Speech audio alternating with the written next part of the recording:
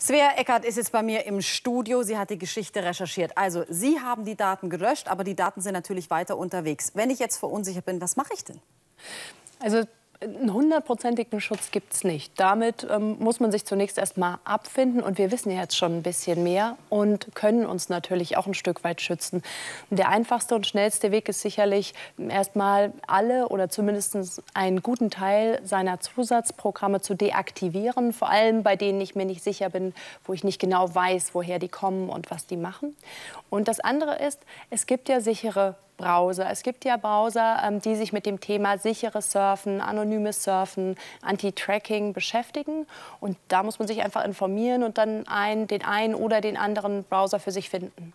Das heißt aber, ich muss genau gucken, was ich da im Internet anklicke und was ich mir runterlade. Das ist ja, glaube ich, das, was wirklich besonders gefährlich ist. Also alles, was kostenlos ist, ist das eine Gefahr?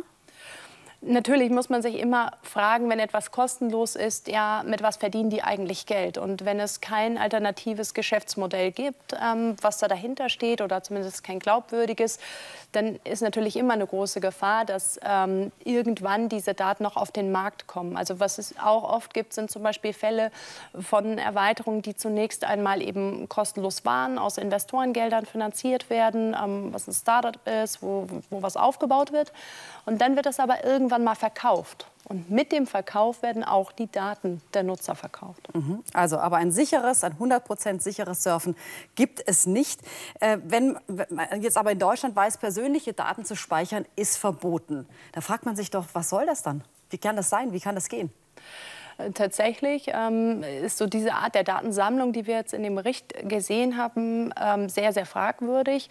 Und man kann sich tatsächlich fragen, ja, also das kann doch mit unseren doch recht strengen Datenschutzgesetzen äh, nicht konform sein.